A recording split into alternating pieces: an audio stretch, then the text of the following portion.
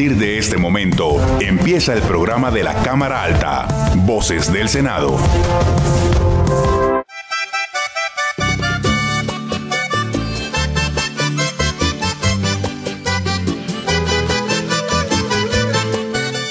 Iniciamos Voces del Senado y nuestro primer saludo es para los encargados del cuidado de la salud visual a través de acciones de prevención, diagnóstico, tratamiento y corrección de defectos refractivos. Para todos aquellos que se profesionalizaron en la optometría, un feliz día. Asimismo, saludamos a quienes nos siguen en las 53 frecuencias de la Radio Nacional de Colombia. Soy Hernando León Vanegas y en cabina me acompaña la cumpleañera de la semana, mi colega Luz Elena Salgado Muñoz, a quien le enviaron un saludo muy especial el senador liberal Lidio García. Luchi, feliz cumpleaños, que mi Dios te bendiga, mi amor, que cumplan muchos años más, que tengas un día muy feliz. Espero verte hoy en plenaria por allá, darte un beso y un abrazo. Cuídate mucho, Lidio. Buenos días, Hernando, y muchas gracias por esas muestras de cariño del equipo de Voces del Senado y de los colegas de la Oficina de Información y Prensa, además del cordial saludo del senador Lidio García, muestra del gran trabajo que hacemos en el programa. Mi saludo para quienes nos siguen en la página web de la Radio Nacional de Colombia y a quienes en estos momentos están conectados en las diferentes plataformas virtuales. Nos encuentra como Senado Colombia en Facebook y en YouTube. En Twitter somos arroba Senado siempre con el numeral Voces del Senado. Esta semana la Corte Constitucional definió su posición en una consulta elevada sobre el tema de las objeciones de la KEP. Al respecto se pronunció el presidente del Congreso Ernesto Macías, quien indicó que esta corporación reconoce y admite la independencia de poderes contemplados en nuestra Constitución. Debo reconocer que la Corte actuó como debía ser, como esperábamos. En primer lugar, reconociendo la independencia de los poderes públicos y en segundo lugar, pues diciendo claramente que el Congreso tiene que tramitar las objeciones y es lo que vamos a hacer. O sea, ¿qué pasó bien ahora? No, continuar con lo que traíamos. Ya fue designada la comisión, la comisión va a estudiar y cuando ellos tengan la propuesta de, cómo se debe pronunciar el, el Senado, pues sencillamente se la someteremos a la plenaria para la votación. ¿El gobierno gana el Congreso? ¿Quién gana con esta? Gana la democracia, gana la institucionalidad, gana lo que veníamos nosotros reclamando, que es precisamente la independencia de los poderes. Esa, esa votación en ese momento tiene que ser mayoritaria. Es una ley estatutaria, tiene que haber mayoría calificada. Voces del Senado. Iniciativa de la mesa directiva del Senado encabezada por el presidente de la corporación, Ernesto Macías Tobar. Primer vicepresidente, Eduardo Pulgar. Segunda vicepresidenta, Angélica Lozano Correa. El secretario general, Gregorio El Pacheco. Y la directora administrativa, Astrid Salamanca Rají.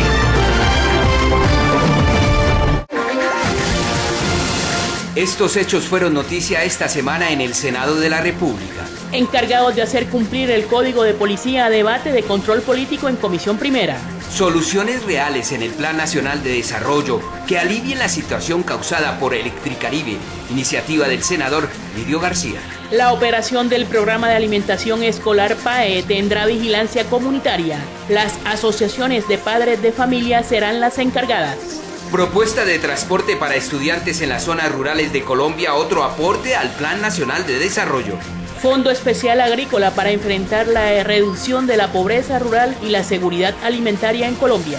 El deterioro ambiental de la Sierra Nevada de Santa Marta a debate de control político. Senadores de la oposición presentaron ponencia negativa al Plan Nacional de Desarrollo radicada por el gobierno. Que no se repita en Colombia la falta de energía eléctrica en el mercado. Voces del Senado. A raíz de la polémica que generó la sanción impuesta a un ciudadano por comprar una empanada en espacio público, también por el inadecuado manejo de alimentos decomisados, senadores de la Comisión Primera citan a debate a los encargados de hacer cumplir el nuevo Código de Policía. Luz Elena, usted tiene más detalles. La Comisión Primera Constitucional del Senado de la República citará al ministro de Defensa Guillermo Botero y al director general de la Policía Nacional, general Óscar Atertúa, para un debate de control político en el que expliquen hasta hasta dónde puede llegar la autoridad y cuáles son los derechos que tiene la ciudadanía, porque según el congresista Germán Barón Cotrino del partido Cambio Radical, el código de policía no se le puede dejar a libre interpretación de los uniformados. Todo lo anterior por el recordado caso de la empanada, donde agentes de la policía interpusieron un comparendo con la suma de 800 mil pesos al joven ciudadano Steven Claros en un puesto de empanadas ambulantes. Pues yo creo que es una indebida interpretación de la norma, porque fíjese que el caso más grande de escándalo que ha generado el código fue el de la empanada, que fue revocado en segunda instancia, porque se evidenció que la norma estaba bien hecha y que la habían inaplicado, que la habían tergiversado en su propósito. ¿A quién se le ocurre que hay que sancionar a una persona que consume una empanada por ocupación del espacio público? No tiene nada que ver lo uno con lo otro. Y básicamente lo que hay es, se ha citado un debate para el ministro de Defensa, para el director de la policía, porque ellos deben hacer unos protocolos que establezcan con claridad hasta dónde puede ir la policía y cuáles son los derechos de los ciudadanos y no dejárselo a la libre interpretación del cuerpo de policía. Otra de las explicaciones que deben dar los altos funcionarios citados es el atropello que cometieron los agentes de policía al momento en que desalojan a vendedores ambulantes utilizando cloro en sus productos perecederos. Ese es otro exceso, porque desafortunadamente como no existen esos protocolos, la policía piensa que tiene unas facultades que le dan para llegar hasta esos extremos, cosa que yo no comparto y que obviamente tendrá la dirección de la policía que hacer esa capacitación. Se lo pongo en un término más claro con un ejemplo. La norma sobre el homicidio, si a mí me encuentran discutiendo con usted en la calle, no pueden decir que si usted me gritó yo la grité es un intento de homicidio. Es una mala interpretación de la norma que no da para acabar con la norma que castiga el homicidio. Lo que hay es una indebida interpretación un exceso en quien aplica la norma. Pero la norma fue revisada por la Corte Constitucional y respeta los procedimientos de la Corte Constitucional. Hubo un año también para que fuera como en forma claro, que fue el año en donde la dirección de la policía anterior debió haber hecho esos protocolos. Es un protocolo es como cuando viene la policía y le dice usted tiene derecho a su libre movilización, pero en virtud de que un juez le imputa tal cargo, tiene que comparecer ante él, le limito la libertad. Eso es un protocolo. De ahí no se sale el policía, ni se puede salir. Pero el policía no puede decir, venga, le voy a limitar la libertad porque me parece que usted me miró mal. No, la libertad tiene unas condiciones específicas. Ocupación del espacio público, lo mismo. Y esos protocolos no se los han dado. Para no perturbar la libertad del ciudadano debe haber sanción, campañas de concientización y educación a los uniformados de la Policía Nacional que se ceden y ratificó que la institución debe asumir la capacitación, señaló a Voces del Senado el congresista Germán Barón Cotrino. Para Voces del Senado informó Luz Elena Salgado Muñoz. Voces del Senado. Salvavidas para 12 millones de colombianos de la costa caribe que padecen las falencias del servicio público de energía eléctrica, propone el senador liberal Lidio García Turbay. El informe de Hernando León Vanegas con el propósito de lograr una pronta solución a la problemática del Caribe colombiano. En cuanto al servicio de energía eléctrica, el senador del departamento de Bolívar, Lidio García Turbay del Partido Liberal, advirtió que 12 millones de colombianos que viven a diario el corre-corre por la mala prestación del servicio público en la costa norte son el reflejo del estigma al que se ven sometidos los costeños de Colombia. Es que es inconcebible que siempre las cosas malas empiezan por la costa y los señalamientos siempre empiezan por la costa y siempre a los costeños nos toca la peor parte y jugar de la peor manera, no solamente en los servicios de energía eléctrica, en todos los tipos de servicios y de situaciones de este país. La experiencia del senador Lidio como integrante de la Comisión de Asuntos Energéticos del Legislativo le permite con autoridad y como vocero del Caribe colombiano advertir de la importancia de proveer a la región de una empresa de energía eléctrica que tenga no solo músculo financiero, sino capacidad de servicio a la comunidad. Tuve la oportunidad de estar 10 años en la Comisión Quinta, que es la Comisión de Minas, Energía, Agricultura, Medio Ambiente. En 10 años tuve la oportunidad de ver a las personas más expertas en la materia, donde pudimos, yo como costeño pude sacar una conclusión de que el Caribe no puede ser atendido por una sola empresa. No le puede brindar a 12 millones de colombianos una empresa con un gerente con un, cúmulo de problemas de siete departamentos donde se les hace inmanejable. La gran conclusión es que el Caribe está manejado por unas tres empresas. Una que interconecte con eh, Antioquia, que puede ser EPM, un ejemplo.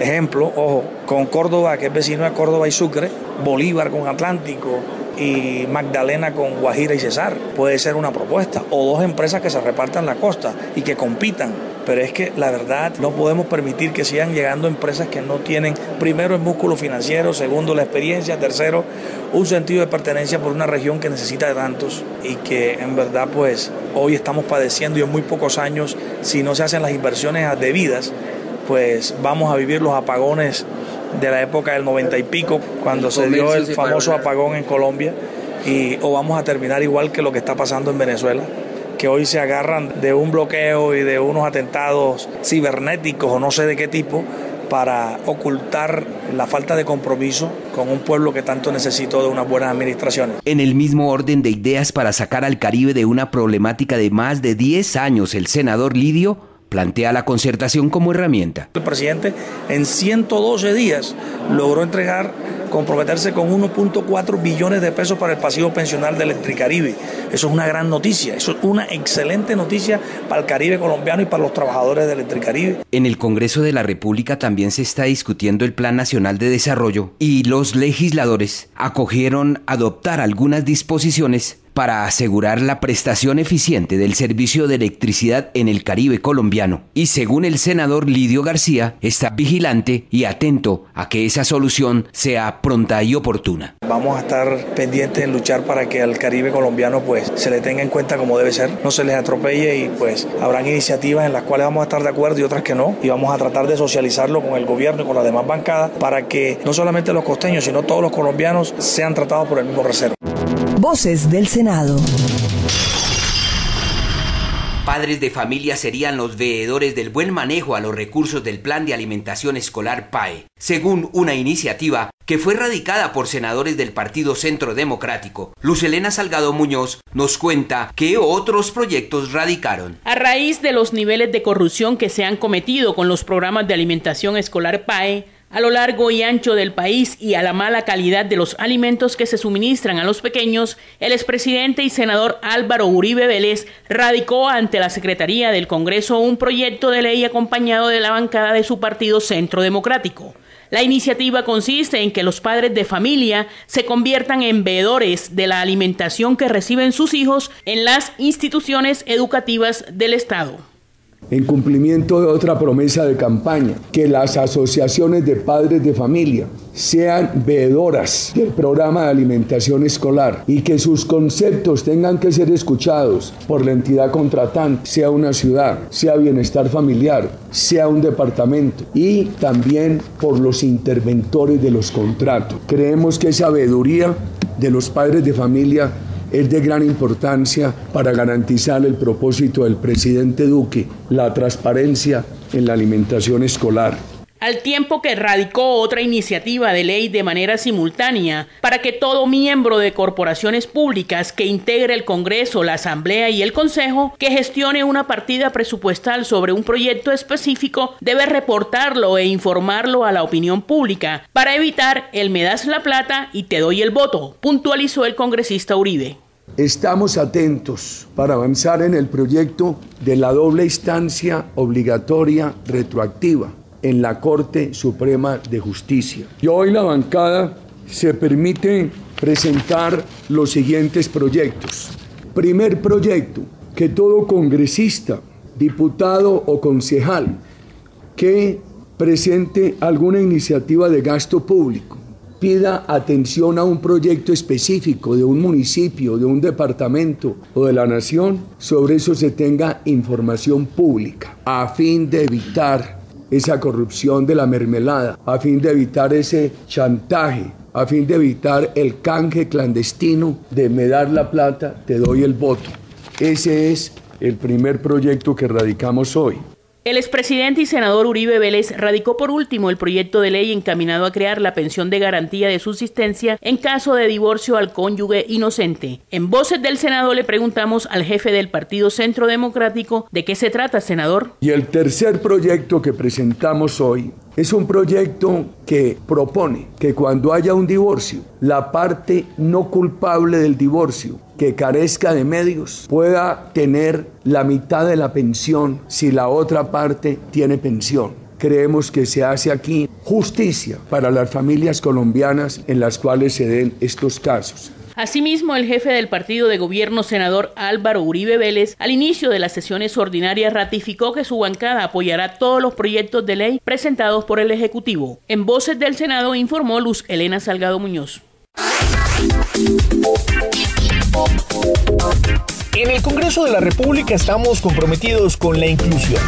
Nuestro objetivo es facilitar la atención a las personas sordas, resultado de la alianza con el Ministerio de Tecnologías de la Información y las Comunicaciones MINTIC y la Federación Nacional de Sordos FENASCO.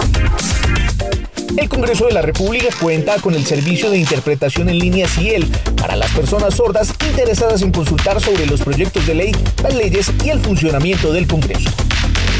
También pueden contactarnos a través de relevo de llamadas solicitando comunicación al número 382-2302 en la ciudad de Bogotá en horario de 8 y 30 de la mañana a 12 del mediodía y de 2 a 5 de la tarde de lunes a viernes. Aquí estamos construyendo un país sin barreras de comunicación.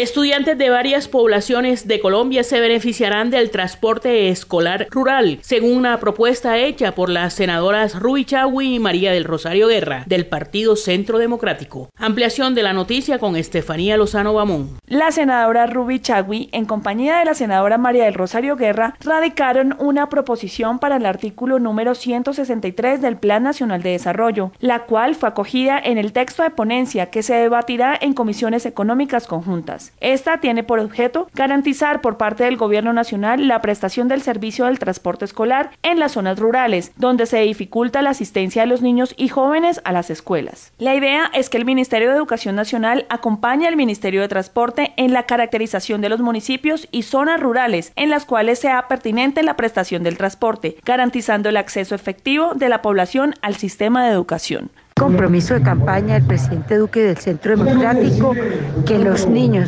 de las escuelas de las zonas rurales pudieran tener gratuidad en el transporte. No podemos seguir viendo a niños caminar dos horas de ida y dos de regreso para poder acceder a la educación. Por eso la proposición de que se le dé prioridad a los niños de las zonas rurales con un transporte que le permita seguridad y dignidad en sus desplazamientos. En cuanto al segundo paro de educadores en este primer trimestre del año, la senadora María del Rosario Guerra afirmó que abro comillas. Trabajar, trabajar y trabajar es lo que debemos seguir haciendo por el futuro del país, mientras sectores de izquierda intentan paralizarlo. FECODE entra en paro y deja sin clase a 8 millones de estudiantes, y añadió que es triste que quienes deben dar ejemplo de trabajo y compromiso como formadores de niños y jóvenes tengan el paro como argumento. Su responsabilidad es muy grande para que se dediquen a marchas y protestas, pues sin clases no hay educación pública de calidad. Cierro comillas. Voces del Senado. Alternativas que solucionen la problemática de 200 familias indígenas afectadas por los incendios en la Sierra Nevada de Santa Marta solicitó el senador Eduardo Emilio Pacheco del movimiento Colombia Justa Libres. Keir Ernesto Villeros con los detalles del informe. El senador Eduardo Emilio Pacheco denunció que los continuos incendios forestales han afectado a más de 200 familias en lo social y económico. Esto incluye a comunidades indígenas que habitan en la parte norte del territorio colombiano como los Cogis, Arhuacos, Cancuamos y Arsarios. Hay una situación de riesgo bastante compleja en la Sierra Nevada de Santa Marta, que implica tres departamentos, Magdalena, Guajira y Cesar y las implicaciones que han tenido los incendios forestales han sido de alta magnitud. Afectación a la economía, afectación de vivienda, afectación social o económico-social. Creo que eso ameritaba un debate de control político con la presencia del ministro del Medio Ambiente y Desarrollo Económico. Pero el tratamiento que le dio la comisión fue bastante aceptable, tanto que adhirieron a ella la mayoría de los miembros de la Comisión Territorial. ¿Para cuándo se hace la citación? ¿Para cuándo se va a desarrollar un debate? O Lo interesante era presentarle que fuera aprobada, que es la primera instancia. A partir de ahí ya se fija fecha para adelantar el debate de control político. En este momento, ¿qué población, el número es la afectada allí en el con los departamentos de Cesar y La Guajira, incluyendo las comunidades indígenas. Se dice que aproximadamente son unas 200 familias un sinnúmero de casas afectadas, la economía lógicamente devastada. O sea, las implicaciones económico-sociales son bastante fuertes casualmente a eso que a eso es a eso obedece la citación para el debate control político de tal manera que el ministro de Medio Ambiente y Riesgos pueda responder ante esta situación compleja que está viviendo esa región del país. El tema del agua, una queja recurrente allí. ¿Qué conoce usted? El problema, a ver, la Sierra Nevada de Santa Marta es una fuente hídrica sin precedente. Y lamentablemente los departamentos que se pueden beneficiar del agua no se benefician. Son ríos de corto recorrido, con abundante agua, pero unas implicaciones bastante complejas para los habitantes todavía que no pueden disfrutar de ese beneficio natural de la Sierra Nevada, el caso Santa Marta. Santa Marta tiene un, problema de, escasez de agua impresionante. La misma Guajira también me acontece lo mismo, siendo que la sierra también tiene que ver con la Guajira y tiene ríos tan importantes como el río Palomino, tiene el río de mm, Río Ancho, que son ríos abundantes, corto recorrido, y, y creo que no es de buen recibo que tengamos nosotros tanta fuente hídrica tan importante y tengamos una escasez de la prestación del servicio a esos departamentos. El congresista Pacheco Cuello se mostró positivo por la aprobación de su propuesta que fue firmada por la mayoría de sus colegas y espera que se fije fecha donde el ministro del Medio Ambiente, el ministro de Desarrollo Económico presenten alternativas para solucionar la pérdida millonaria y el mal uso de los ríos que nacen en la Sierra Nevada de Santa Marta que perjudican a las comunidades del Cesar, La Guajira y el Magdalena. Para Voces del Senado informó Keir Ernesto Villero Damián. Voces del Senado.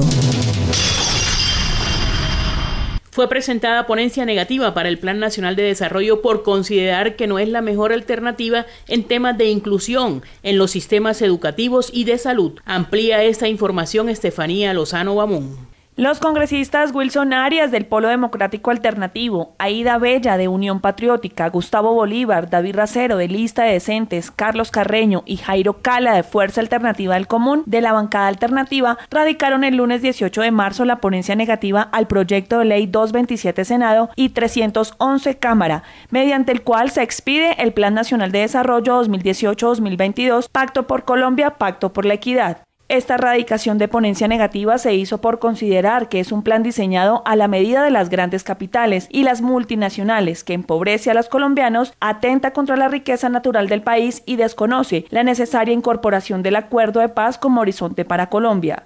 El senador Gustavo Bolívar, integrante de la lista decentes, dijo que, abro comillas, el Plan Nacional de Desarrollo profundiza el modelo extravista que se ha venido implementando desde los expresidentes Pastrana, Uribe y Santos, abriendo la puerta al fracking en detrimento del medio ambiente, cierro comillas.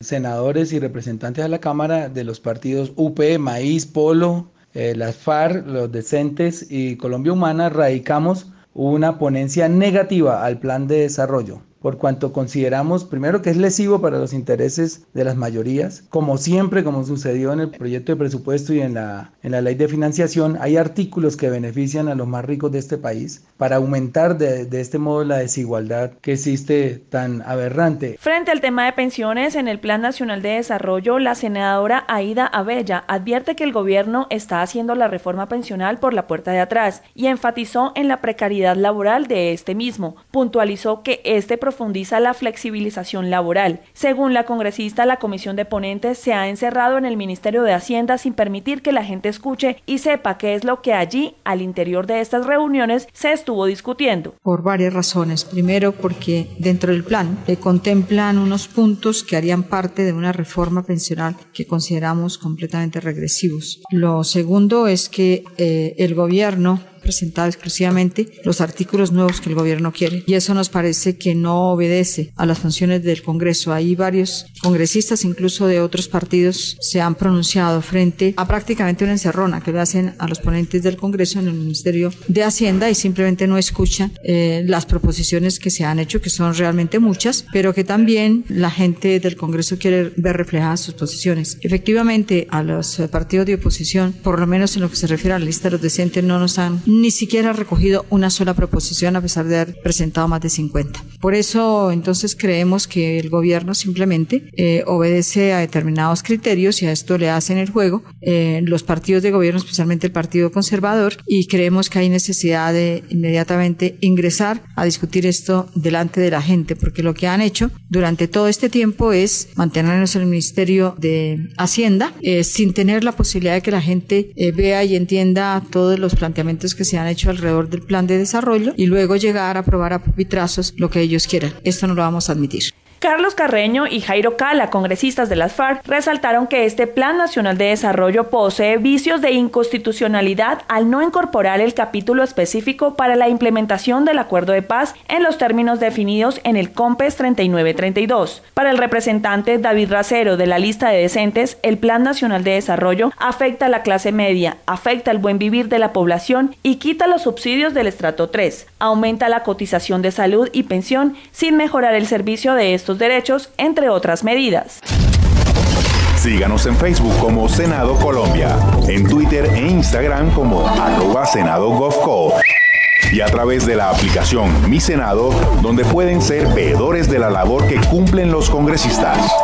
Según las estadísticas en cuanto a la capacidad de energía eléctrica en Colombia, el país estaría reaprovisionándose de un servicio elemental pero según el senador, el doctor José David Name Cardoso, de la Comisión Quinta del Senado del Partido de la U, es mejor que por medio de un proyecto de ley se adopten medidas para asegurar la disponibilidad energética del país. Ese proyecto se presentó en el semestre pasado. Va en el mismo sentido de lo que está proponiendo el gobierno nacional ahora, que es a través del el gobierno lo está haciendo a través del plan de desarrollo, nosotros estamos haciendo a través de un proyecto de ley para elevar los topes de distribución energética en el país y se puedan presentar a la puja por Electricaribe las compañías que se encuentran actualmente en el mercado energético de Colombia. Es un proyecto muy importante porque si no se cambian los topes del máximo con lo que una empresa puede participar en el mercado en el país, pues es muy difícil que eh, alguna empresa como la empresa Energía Bogotá, EPM o cualquier otra empresa que ya tiene mercado en el país pueda pujar por Electricaribe.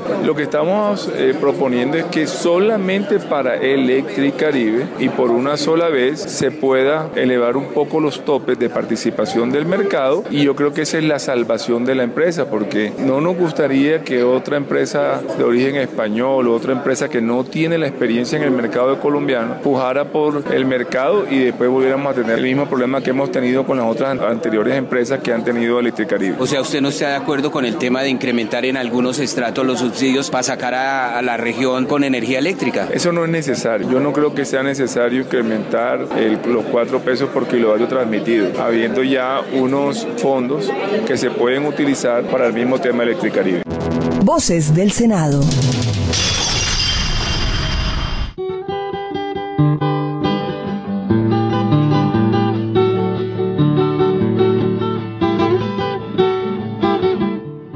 Finalizamos la emisión del día de hoy. La invitación a descargar la aplicación Mi Senado, una herramienta tecnológica al servicio de los ciudadanos que podrán usarla para manifestar su opinión, su voto y seguir la actuación de los senadores. Recuerden, si tienen alguna duda, sugerencia, queja, reclamo o comentario sobre los temas legislativos, nos pueden escribir al correo electrónico vocesdelsenado@senado.go.co.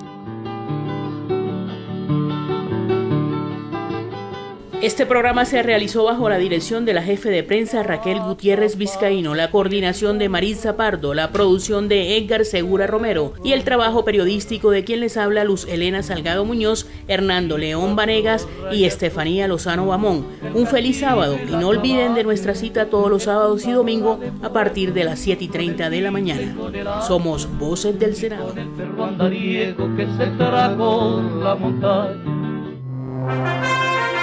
Voces del Senado. Programa institucional del Senado de la República de Colombia.